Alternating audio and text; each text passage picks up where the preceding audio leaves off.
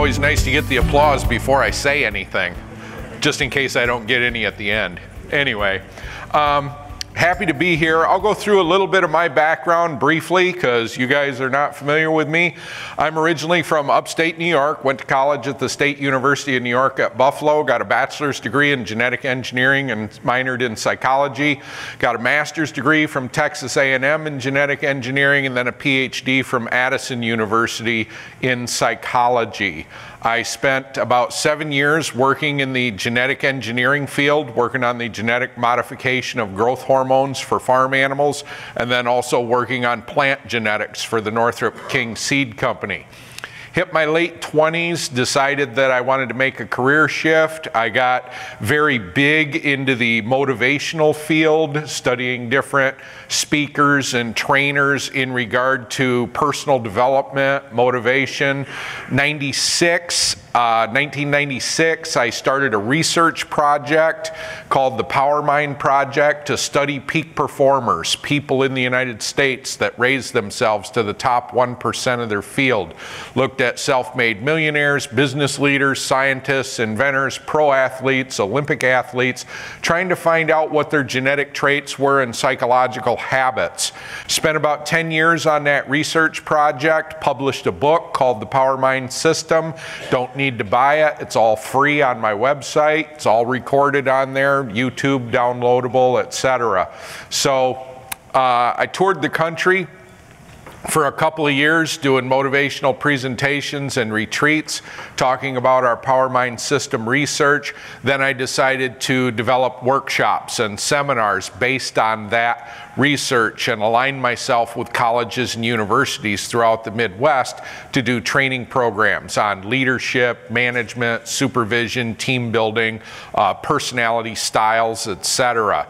About the past uh, five years, I've been pretty heavily involved in safety, active shooter training at schools and businesses and public workplaces, as well as um, doing training seminars on behavior-based safety and things like that. So in my, I, am basically a designer, researcher, developer, deliverer of seminars and workshops. So that's kind of my business. Travel around the country three or four days a week doing, you know, small sessions like this or half day workshops or full day, full day workshops and things like that. So definitely happy to be here, talk with an engaged audience that is interested in safety, health, wellness, etc.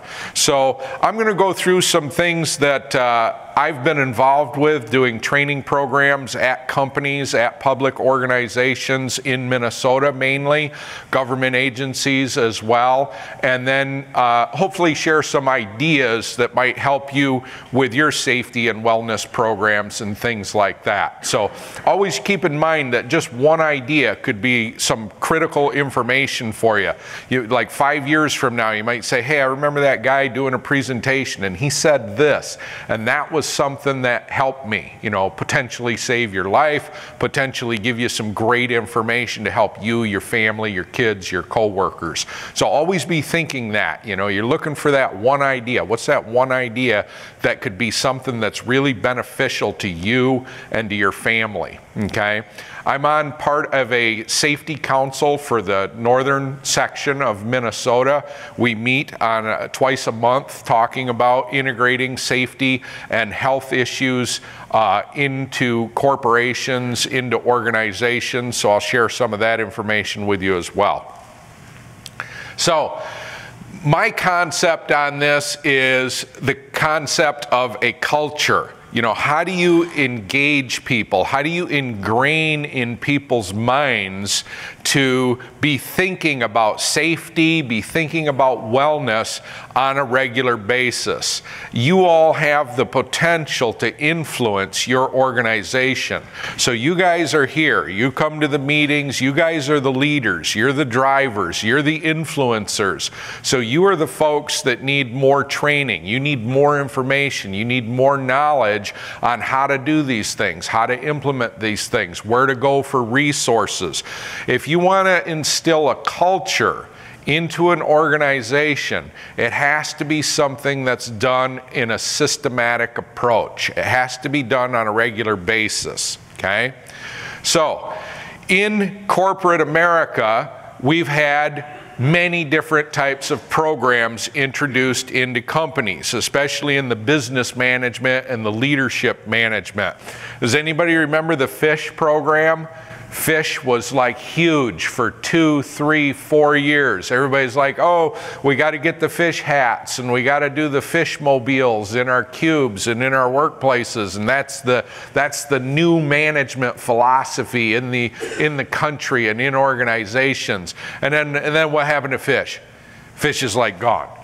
It's like, you know, if you, if you weren't around for fish, you don't even know what I'm talking about. You're like, oh, what's this? You're shaking your head. I love that. It's like fish? Never heard of fish. What the heck is that? Yeah, yeah, you're thinking of fishing. You know, it's a management philosophy. So anyway, so yeah, there you go. Fish, where's fish? Fish is gone. Okay? Anybody know who moved my cheese? Uh, raise your hands if you heard of who moved oh, there you go. All right, at least I'm catching up with some people. You heard of that one. All right, good. So who moved my cheese? Well, where's who moved my cheese now? Who moved my cheese now? It's gone right?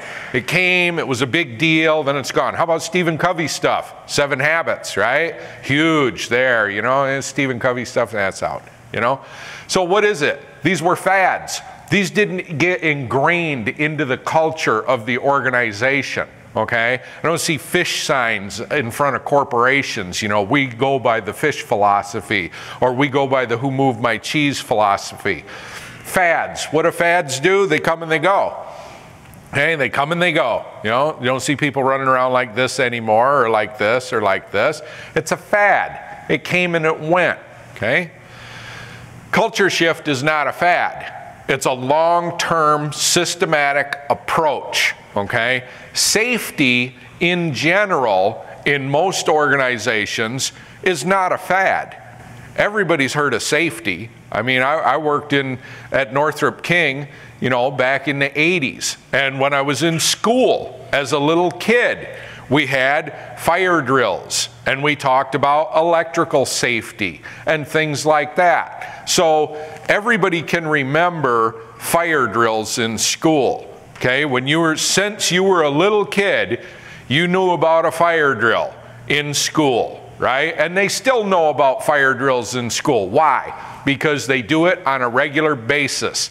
They don't do fish on a regular basis. They don't do who moved my cheese on a regular basis, but you do safety drills on a regular basis. Okay?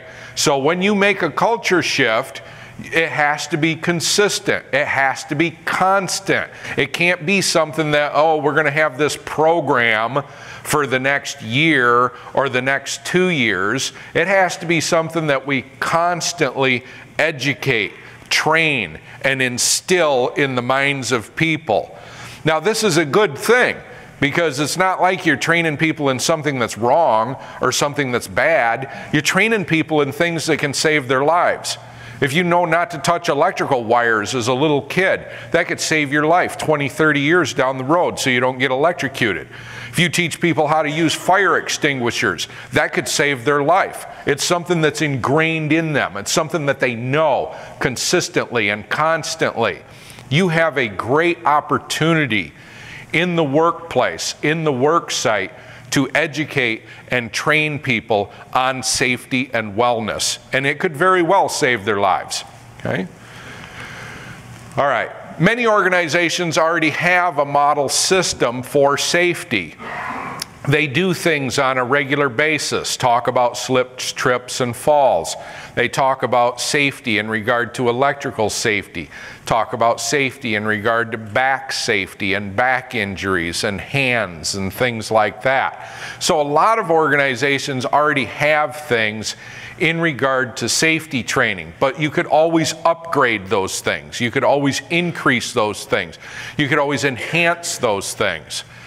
Wellness seems to be something fairly new for most organizations, okay? Past 10 years, I would say.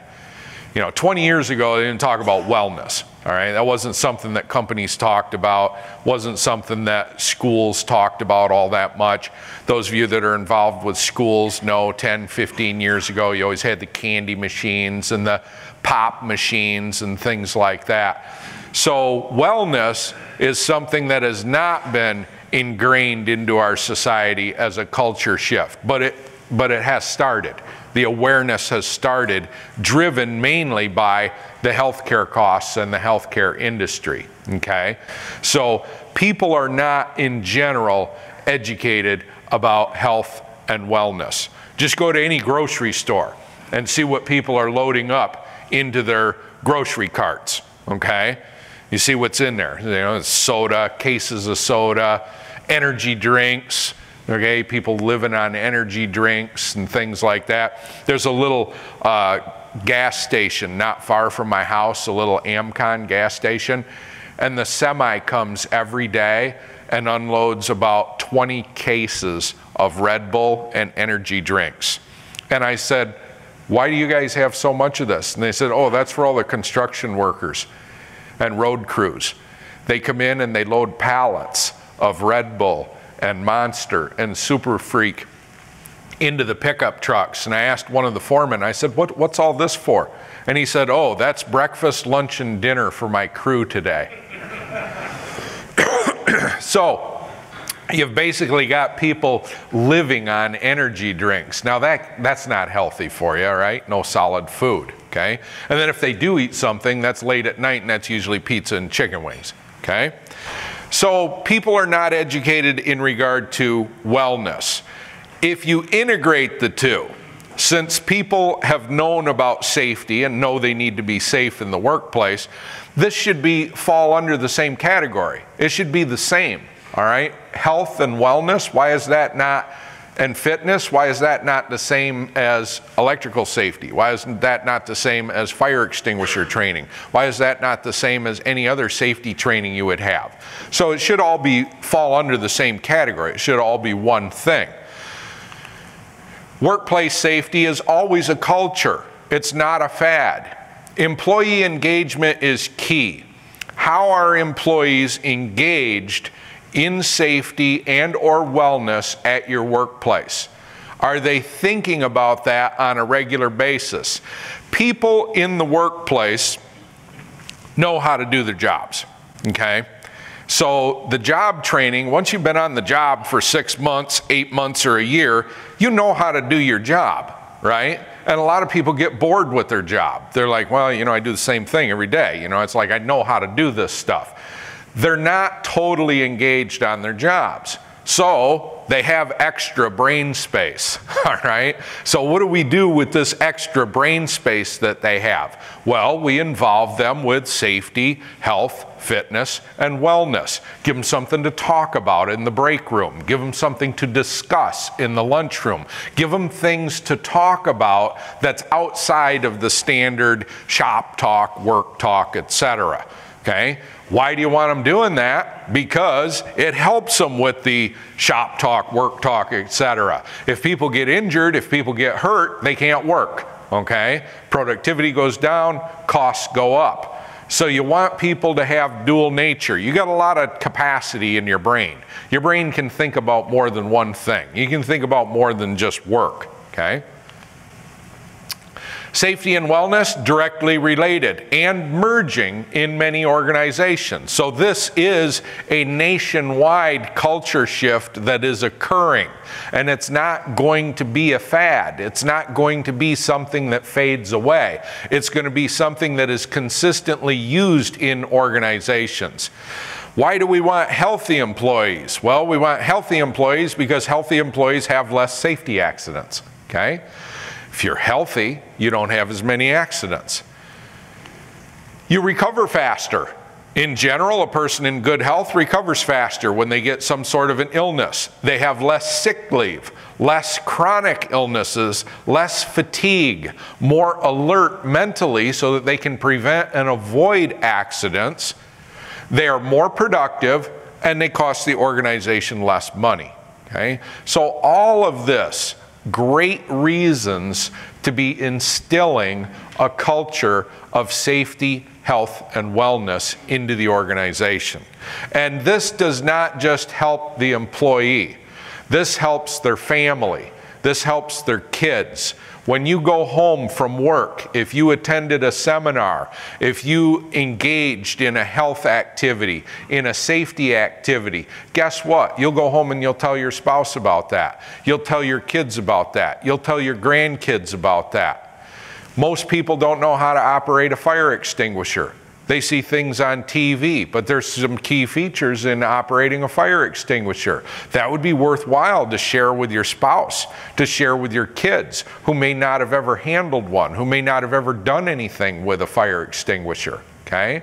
So educating, talking about with your family, with your friends, with your coworkers, discussing these things. That's how you ingrain the culture of safety and wellness. Not just a one shot deal, not just a brown bag lunch, but a consistent, thought provoking discussion, activities, integration on a monthly basis in your organization.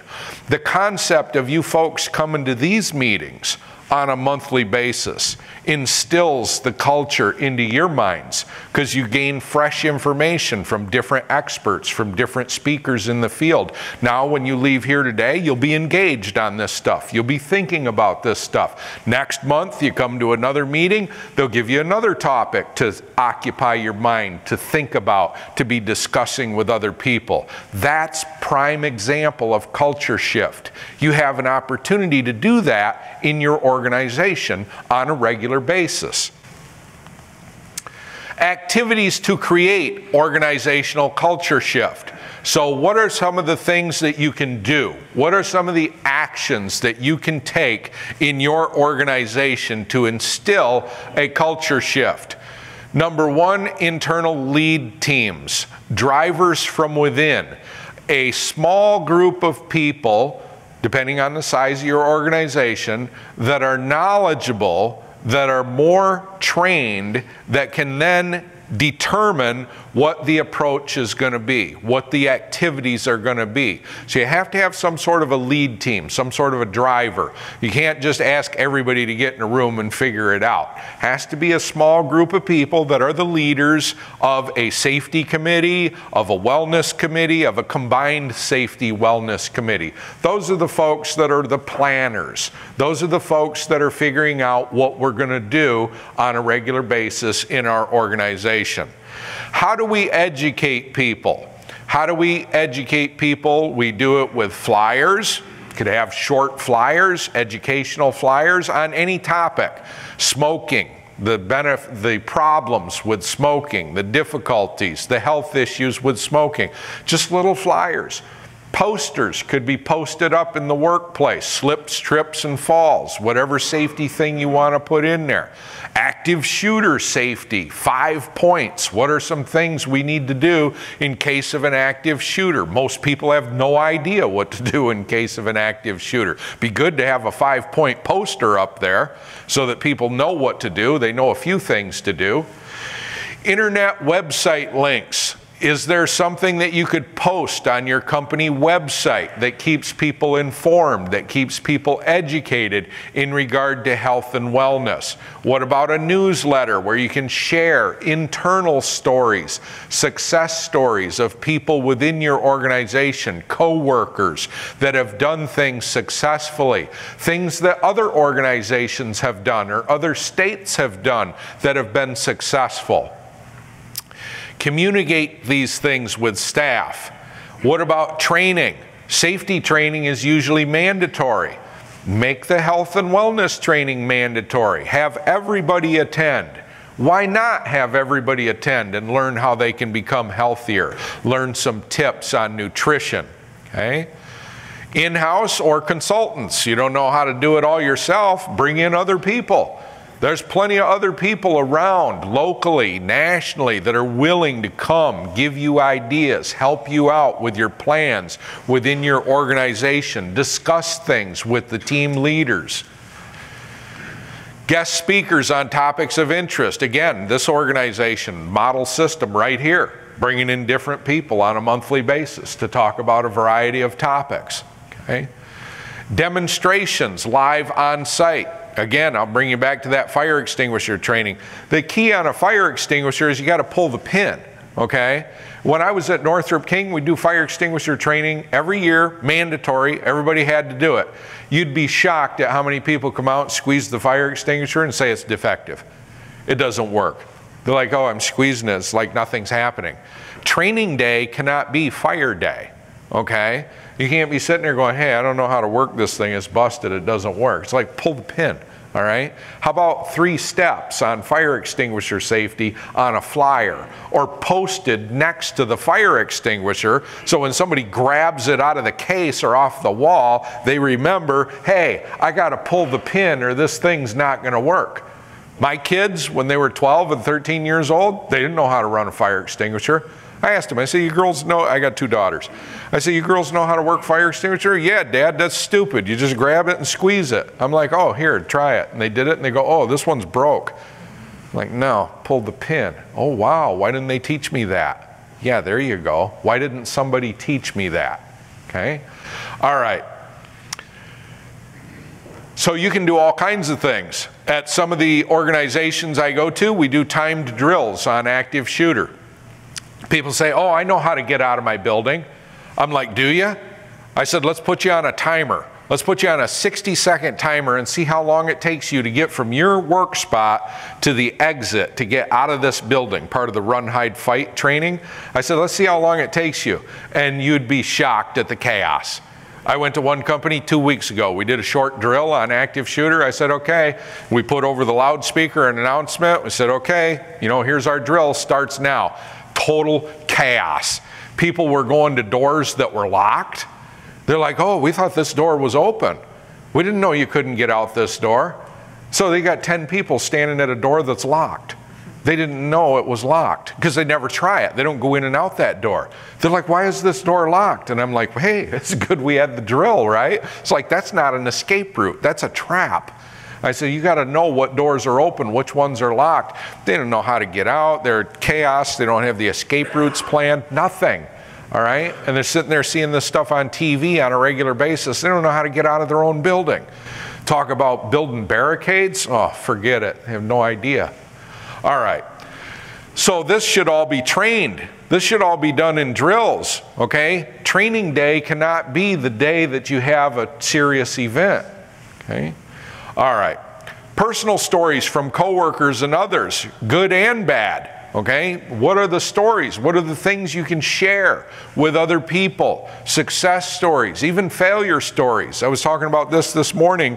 Um, my niece joined CrossFit. She's an MD at Stanford, and uh, she's in her early 30s, and she joined CrossFit CrossFit, for those of you that may not be familiar, pretty intensive aerobic training at a gym. It's like 45 minute to one hour intense training.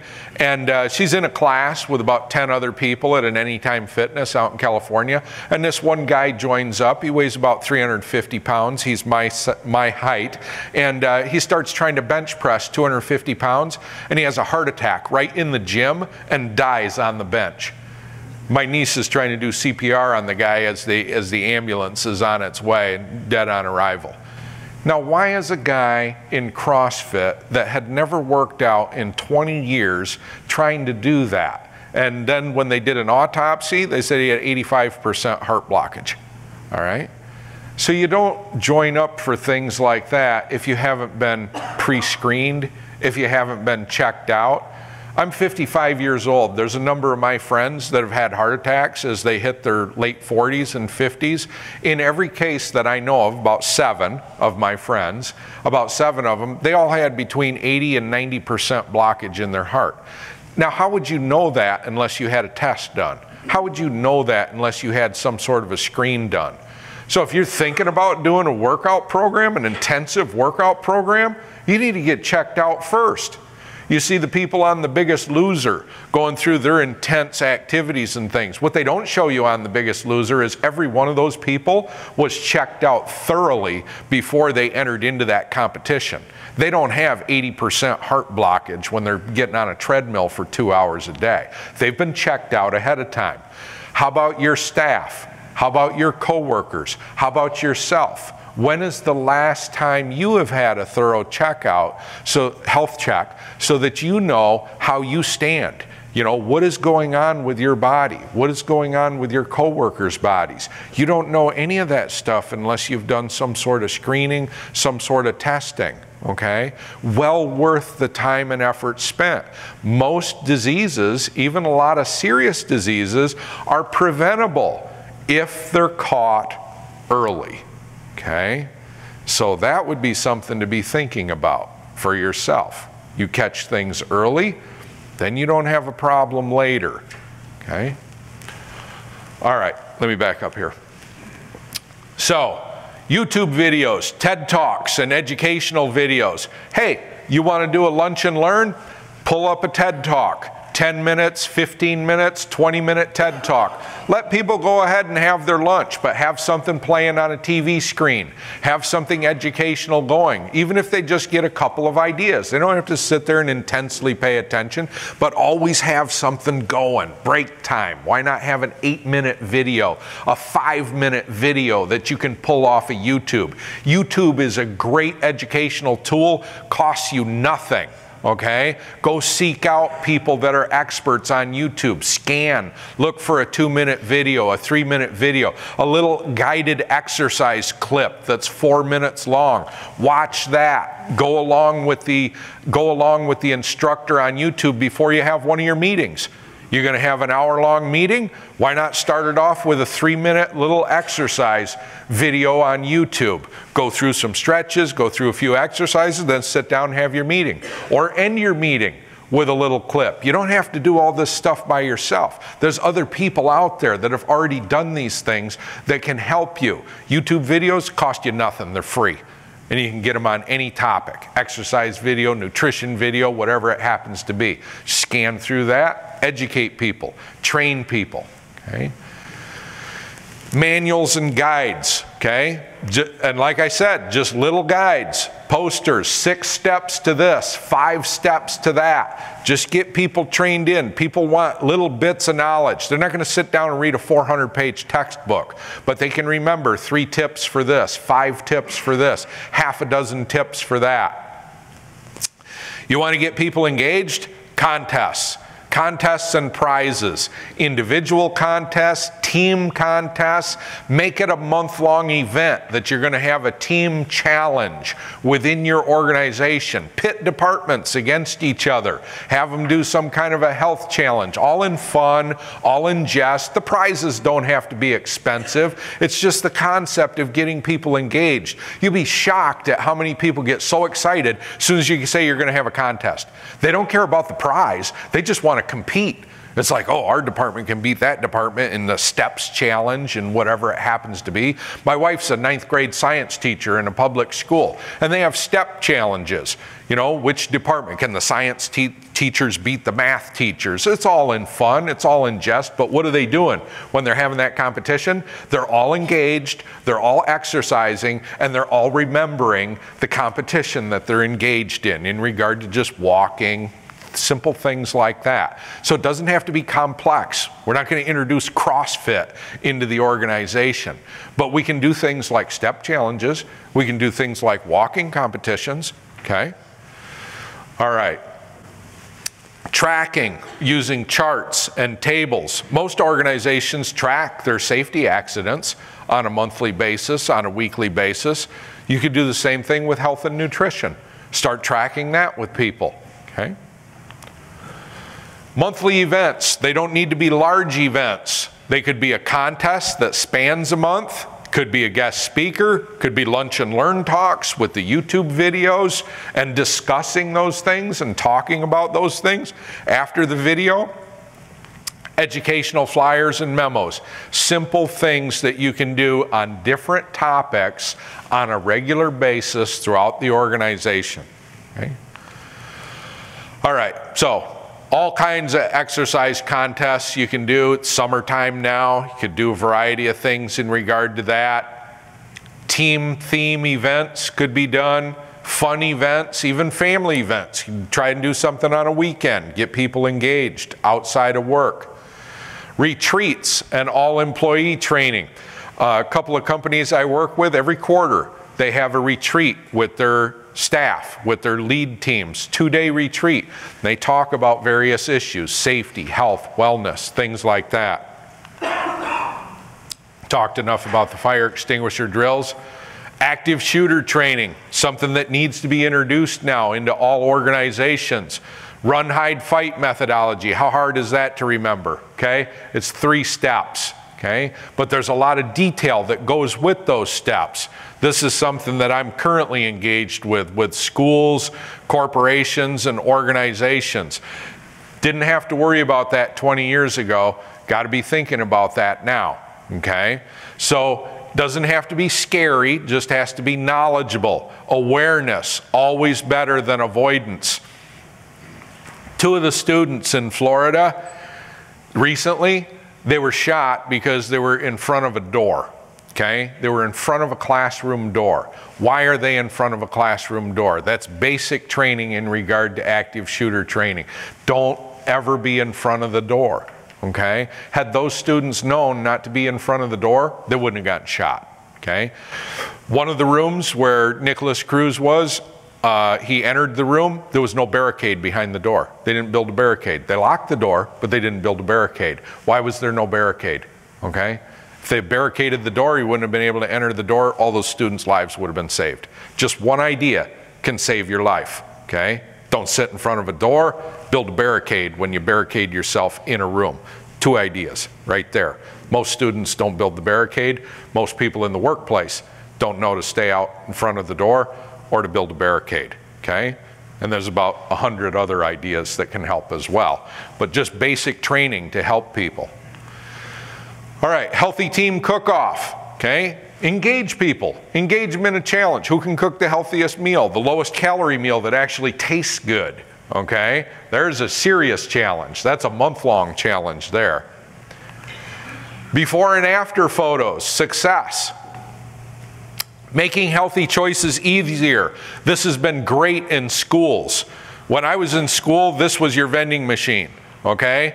Now you go into a lot of schools and they're much healthier choices in the vending machines. What about the vending machines that in your organization? What is being offered? What is convenient for people to snack on at your organization? Healthy vending, that's been a great tool for many organizations. Get rid of the pop machine. Put things in there that are healthier for people. Make it easy for people to be healthy at the workplace. What about meetings? I went to a meeting in northern Minnesota about two months ago, and they brought in a semi. This is 800 people at a three day meeting, and they brought in a semi filled with racks of donuts. And that was the breakfast. And the people organizing the meeting were super concerned that they were going to run out that was their main concern. They were like, oh man, we only got half a semi with donuts. We got 800 people here. It's like, is that going to be enough? Maybe we should have ordered a full semi. And that's, that's all there was for breakfast, was just donuts. And it was every kind of donut. So, I mean, it was actually, I like that myself. All right, I shouldn't like that, but I mean, but I mean, I kind of like that. I was like, I was like, oh my gosh, look at this. you know, I get one of each. You know, there's like 20 kinds here. You know, and I got all morning, and that's what people were doing. They were getting like one of each they get like a, a pallet, you know, of donuts. And they're like, oh, I got this one. And then I'll go back and I'll get, you know, some of the other ones that I missed later. But I'm sitting there thinking from a health and wellness standpoint, oh my gosh, you know, a semi loaded donuts for these folks. That's what we've got. No fruit choice, no nothing. And then if you wanted to drink, they had Red Bull, Monster, Super Freak, coffee. And that's it. So those are your choices. They wanted people to stay awake for the presenters, all right? But anyway, you have other options that you could do in the workplace for meetings. You got other types of foods that you could offer people rather than this, okay? How about stress reduction? That falls under your health and wellness also. What are people getting stressed out about at work? Is there anything on a daily basis, on a weekly basis, where people can reduce their stress, where people can relieve their stress. Some of the programs that I do, we've incorporated using clay. modeling clay, artwork, so people can do something with their hands. Stress reducer, still talking about the topic at hand, but introducing something that is artful that goes along with it. Amazing results. People are like, Dr. Mike, you're the only guy that has us do something with clay in a leadership class. And I'm like, why not? Hey, reduce your stress in the leadership class. You got a clay art piece you go take, put on your desk. People say, hey, where'd you get that? Well, I got that at the leadership class. Oh, really? What'd you talk about? And then that sparks a whole discussion just from a little piece of clay that they made something with in a leadership class or in a team building class. Okay? So, creativity, allowing people to be engaged physically, allowing people to be engaged mentally. You're teaching all along. It wasn't the clay piece of art that was the goal of the class, it was the installation of the knowledge in their mind, which was my goal. And did they learn it? Of course they learned it, okay? They learned it because they were fully engaged in a topic which might be boring to some people, okay? Nutrition education. Oh my gosh. You know, here, here's one option for you. All right, and here, here's another option. You guys have a state fair out here? We got big state fair out in Minnesota, and uh, like a lot of the challenge is to eat your way through the food courts. All right, anything fried on a stick. That seems to be the that seems to be the team challenge. You know, it's like if it's fried on a stick. So if you're looking for nutrition education, pretty much avoiding the state fair food would be like one thing you could do to save your life. Anyway, um, but a lot of people are not educated in regard to this. And I was not always educated in this myself. I, I, I didn't start out as a nutritionist, right? That's not my thing. Okay, I was not educated on this. I didn't know what were good foods to eat and bad foods to eat. This was not my area of expertise. Okay, but I got educated.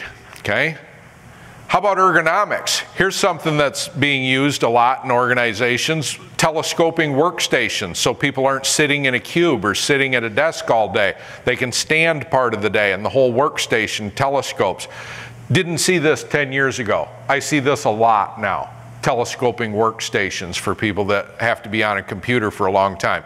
What about distance for your eyes? What about hearing protection? So a lot of things can be done in regard to ergonomics, workplace ergonomics, heavy area of research. Also in manufacturing, a lot of places people got to lift, turn, bend, do things. There's equipments made which will lift things for people so they don't have to bend over. It's already lifted for them.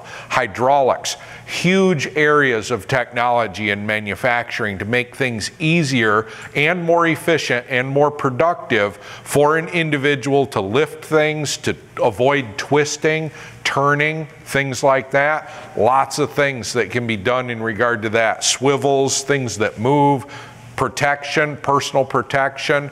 These are areas that help people, keep people safe, keep people from having operations and injuries. Signage and charts. What's your expense justification? Well, a lot of things are not super expensive in regard to health and wellness, so that's like a big benefit, all right? But your other aspect is look at the long term issues. How much time are people missing because they're sick? Okay? How much time are people missing because they have an accident at work, because they have an injury at work? How many people are on meds at your workplace? If you've got a workforce that's over 40, how many of them are on multiple prescription medications, which may not need to be on multiple prescription medica medication if they did a few personal changes in regard to their health and wellness? All right, let me give you a little bit on my story. So I told you that this was not an area of expertise for me years ago. I hit, I'm 55 now. When I hit 50, I had a stroke. And my basic diet for 45 years prior to the stroke was soda, candy, pizza, chicken wings. Once in a while, cheesecake, and then uh, pasta, okay? And meat. That's my basic diet. So I have a stroke. I recover from the stroke. mildly in a couple of weeks. And I'm sitting down with a doctor, and he's like, You need to be checked out. And I said, Why? He said, Well, you just had a stroke. And I said, Okay. So they ran me through all kinds of tests. And I said, Well, how's that look? And he says, Not good. All right. So I'm sitting there with every test result blood test result, full body CT scan, colonoscopy, endoscopy. I get all the results and everything's bad. And he says, What do you eat? And I told him what I ate. And he said, Oh, your problem is easy to solve. I said, Really? I said, What's that? He said, Don't eat anything you've been eating for the past 45 years. he said, That's simple. He said, If you look at it and you're like, Oh, wow, that looks good. I'm hungry for that. He said, Yeah, don't eat that. And so I was like, Oh, okay. So I talked with a doctor at the Houston Obesity Clinic, and I said, I said, well, what are some things I can do here? You know, I mean, I, I don't want to, I don't want to die. And he's like, well, it's amazing you're still alive. He says, How much exercise do you do on a daily basis? I said, Daily? I said, thinking maybe annually, you know. it's like, you know, it's like, well, what do you do for a living? Well, you know, I do research on the computer and then I kind of stand and I talk. And he goes, oh no. It's like just all bad, you know. It's like I said, it was depressing. For a motivational speaker, it's depressing. I was like, well, he goes, what do you do for a living? I said, motivational speaker. He says, wow. He says, it's depressing for me talking with you. So anyway, he gave me some ideas. You know, he gave me some talks and he gave me some ideas and I had to make a mental shift, okay? In my life, I had a lot of things covered very well. I had finances covered very well. I had business covered very well. Family was covered very well. But a huge area of neglect for me personally was health and wellness, okay? So I didn't pay any attention to my health, ate whatever I wanted, never exercised, and just did whatever I wanted until it caught up to me when I hit 50. Now, I consider myself lucky because I didn't die, all right? And I was able to recover. But I made some major changes, all right? And that's the sad thing with a lot of people is they don't make any major changes until they have a near-death experience, okay? So, I encourage you as an individual and your coworkers to do the pre-checks, all right? Get things checked out ahead of time, all right? So, what I was able to do is get off the blood pressure meds, get off the cholesterol meds, and make most of the changes with diet and exercise. Okay? So I was able to make dramatic changes. And you sit there and go, oh, well, that's you, Mike. You know, you were able to do that. But what about me? Hey, my wife did the same thing. All right? She didn't have a stroke, but she was not in good shape either. But we both went on the same type of thing, and it wasn't a plan, it wasn't a fad, it was just a methodology. It's like, you know, don't drink soda most of the time. It's like I'll still have pizza, I'll still have cheesecake, but not every day, okay? And that's the problem. How many sodas are people drinking on a daily basis? Most people say, well, if I just drink three or four sodas every day, that's, that's not a big deal. I know other people that drink six. I know other people that drink eight. When I go and do seminars, I see people with monsters, super freak, couple cans of Coke. Mm, that's just the morning, all right? What about the afternoon? So, sodas, candy, donuts, pizza, chicken wings, fried food, pretty much everything I like. You know, can't eat that on a daily basis. Can't be your basic thing. And you have to exercise. And I hate, there's a couple of things that I personally hate, okay? I personally hate exercise, okay? I don't enjoy it. People are like, oh yeah, get your sweat on, you know? It's like, no, I hate to sweat. I'm bald, it runs into my eyes. I can't stand that, all right? I don't, I don't like to sweat, all right? I don't like to sweat, I hate fruit, and I hate vegetables.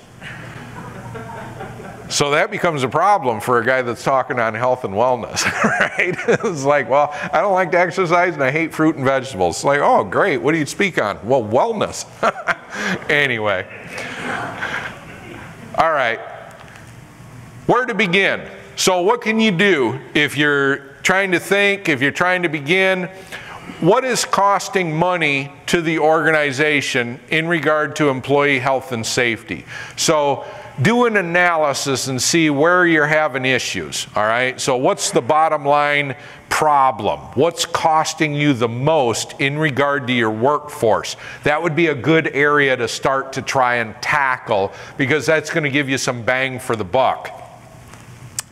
What are the obvious employee health issues? Okay, so what are some things that are just blatantly obvious? You know, do we have half our workforce smoking cigarettes four times a day, uh, morning, lunch, and an afternoon break? That's a no brainer. That's an obvious thing.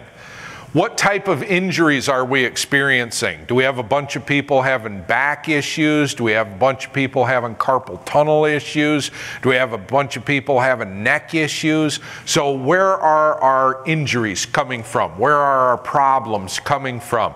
Do we have a particular machine that's a problem? Do we have machine operators that are all having a consistent syndrome or problem? What are most people eating? Okay? And more importantly, what are we as an organization feeding them at meetings, lunches, and in our vending machines? Do they exercise at work or are they just cube dwellers? Is everybody just sitting around? I went and did a seminar for a bunch of software programmers and I said, What do you guys do for exercise? And they said, Well, our exercise is mainly chair exercise. And I said, Well, what's that mean? And they said, Well, we come in, we sit at our computer, we turn it on, and then we take our break after a couple hours, and we have like a, a candy bar and a Coke. And then we stay at our computer. They, they, a lot of the software programmers don't like interact with other people, and do everything on the internet. So they don't want to like get up and go to a break room. They just want to stay at their terminal. And then I said, and then what do you do? Well, then at lunchtime, we eat our lunch at our computer, and maybe we play a video game for stress reduction, and then uh, and then we get back on our computer and we do our work, and then we have our break in the afternoon, and then we leave at like five or six. And I said, well, how often do you move? And they said, well, we don't like to move a lot, but like twice we have to move because we have to go to the bathroom. But other than that, and, and, they've talked with their management about how they could have something in their office so they don't actually have to get up and go to the bathroom. They just go to the bathroom in their office and stay on their computer. And this is serious, you know. A, a whole group of computer programmers. They, they just want to go in and sit at their terminal. You know, they don't even want to come to work. They're like, well, can't we just stay in our bed at home and just have the terminal up on the up on the ceiling and we can just work like that? I mean, they have no movement. I mean, zero movement. Okay, that's their thing. Now, talk about introducing an exercise program with them. They, they just need a walking program. Okay. All right. What are the employees interested in changing? So in a survey, what are people interested in modifying? Do they have an interest in a particular health topic or safety topic or wellness topic? How are they getting hurt, like serious injuries? Okay, the gentleman that spoke before me talked about injury accidents and fatalities. What is causing that? We need to be looking at those things because we definitely don't want our workforce having a fatality or getting a serious injury. So those are things you need to look at as well. And then the ergonomics, the long-term things, the chronic issues, the hand issues, the neck issues, the back issues.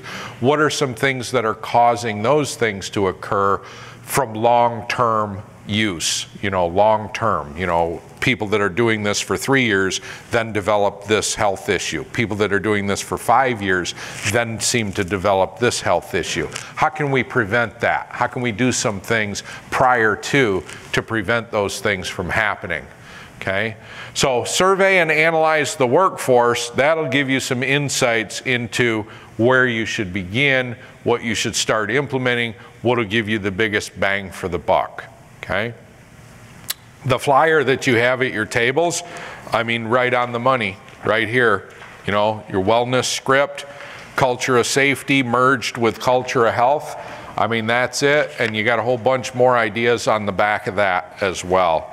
So, all in regard to prevention, all in regard to education, all in regard to, to activities that people can do at the workplace, at the work site.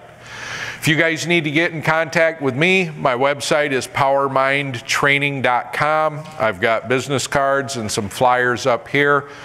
Need any assistance in regard to health and wellness programs? That's pretty much where I'm focusing my efforts, as well as the active shooter education and training, doing drills, knowledge for small children on up to workforce, government agencies, etc simple things people can do to be trained, to be educated, and to be safe in regard to your health, wellness, and workforce violence. Okay?